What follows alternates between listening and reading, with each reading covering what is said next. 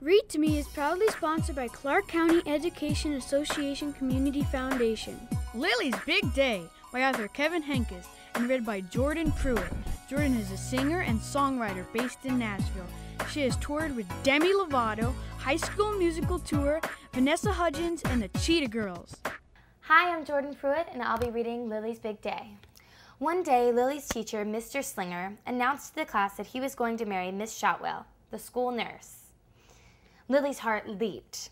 She had always wanted to be a flower girl. It will be the biggest day of my life, said Mr. Slinger. Mine too, whispered Lilly. At home in her room, Lilly practiced being a flower girl. First time she changed it to something more appropriate.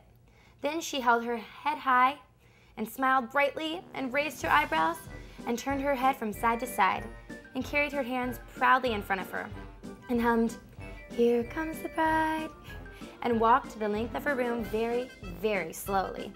Back and forth, back and forth, back and forth. It will be the biggest day of my life, said Lilly.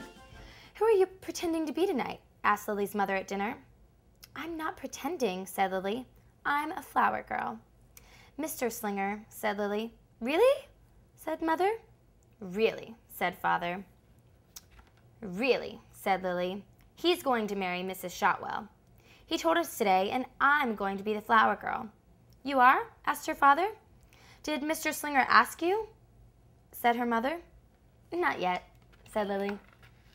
At bedtime, Lilly's mother said, Lilly, there are so many students in your class. Mr. Slinger couldn't possibly pick just one to be a flower girl. Her father said, It wouldn't be fair. He probably has a niece, said her mother. Maybe Aunt Mona will get married someday, said her father. Do you understand what we're trying to say? asked her mother. Lilly nodded. Are you sure? asked her father. Lilly nodded again. After her parents left the room, Lilly said, I understand that I'm going to be a flower girl. The next day at school, during sharing time, Lilly said, I've always wanted to be a flower girl, even more than a surgeon or a diva or a hairdresser. The following afternoon, when Mr. Slinger had recess duty, Lilly picked a handful of weeds at the edge of the playground. She carried the weeds proudly in front of her and walked very, very slowly past Mr. Slinger until the bell rung. Back and forth, back and forth, back and forth. And in the morning after that, Lilly went to the light bulb lab in the back of the classroom. She drew a self portrait. Mr. Slinger called Lilly up to his desk during quiet reading time. Lilly, he said, I can tell that you want to be a flower girl. But unfortunately, my niece, Ginger, is going to be the flower girl at my wedding. Lilly's heart sank. But, said Mr. Slinger, I also want you to know that everyone in the class will be invited to the wedding.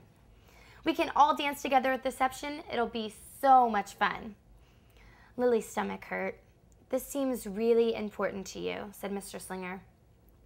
Lilly's cheeks turned pink. You know, said Mr. Slinger, I was just thinking that you might like to be Ginger's assistant. You could stand with her and keep her company until she has to walk down the aisle.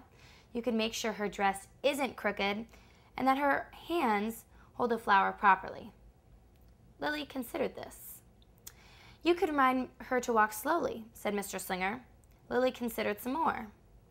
You could wear a corsage, said Mr. Slinger. Oh, all right, said Lilly, if you really need me so much. Lilly tried to get excited about being Ginger's assistant. Weddings wouldn't even exist without flower girl assistants, she told her baby brother Julius. I have a special responsibility, she told her parents. When her Grammy took her shopping for a new dress for the wedding, Lilly told the clerk, A flower girl assistant is very important important, and glamorous. But when it really sank in that she would not be walking down the aisle carrying a bouquet with everyone watching, Lilly pretended that her teddy bear was Mr. Slinger. She made him sit on the uncooperative chair. You can just stay there forever, she said. As the wedding drew near, Mr. Slinger counted down the days on the chalkboard. One day closer to the biggest day of my life, he would say. One day closer to the biggest day of Ginger's life, Lilly would whisper. And still, at home in her room, Lilly practiced. She held her head high, she smiled brightly, raised her brows, and turned her head from side to side, and carried her hands proudly in front of her, and hummed, Here comes the bride, and walked the length of her room very, very slowly, back and forth, back and forth, and back and forth. The day of the wedding finally arrived. Lilly hoped and hoped that Ginger would have pink eye, or a bad fever, or just not show up. But she was there, and she was all ready. Her dress was straight, and she held her flowers properly. Are you sure you want to do this? said Lilly. Yes, said Ginger. Are you sure, sure? Yes. Are you really sure you're sure? Lilly hoped and hoped that Ginger would change her mind, but she didn't. It was time for the ceremony to begin. The music swelled, everyone stood. The moment came for Ginger to walk down the aisle. Ginger didn't move. Mr. Slinger motioned for her forward. Go, said Lilly. Ginger was frozen. Now, said Lilly. Ginger was as still as a stone. You can do it, said Lilly, but Ginger couldn't. Everyone waited and waited and waited. No one knew what to do except Lilly. Lilly scooped up Ginger and said, Here we go.